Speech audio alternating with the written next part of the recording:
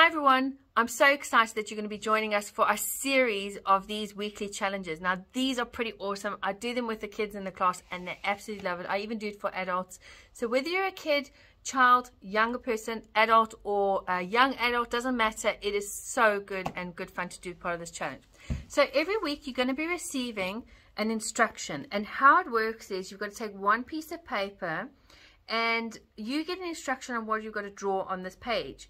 But now every week you've got to keep adding to that image and you've got to somehow incorporate it to create a masterpiece. So let's say, for instance, week one is draw a teacup. And you draw the teacup, you put it in, say week two is draw a palm tree.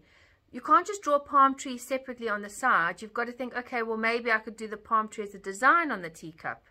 And then, then say the third week is then add, add a face or a cartoon hairstyle.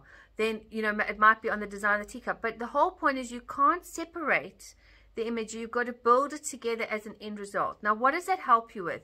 It just helps you with um, trying to build solutions, take what you're given, be adaptable. So it's a really awesome uh, way to have fun and build life skills. So let's look at our first challenge, shall we?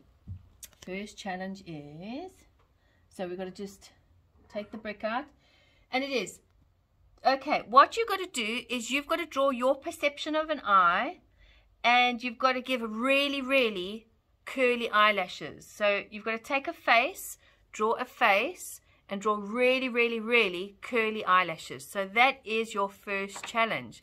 Go for it. So this is a series that we're going to be doing of, of four for each masterpiece, and then you're going to add to this masterpiece. Let's see what your images look like at the end.